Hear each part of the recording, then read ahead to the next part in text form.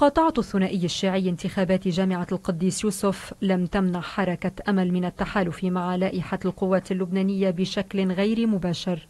كذلك طيف تيار المستقبل كان حاضرا بصورة غير مباشرة دعما للائحة القوات.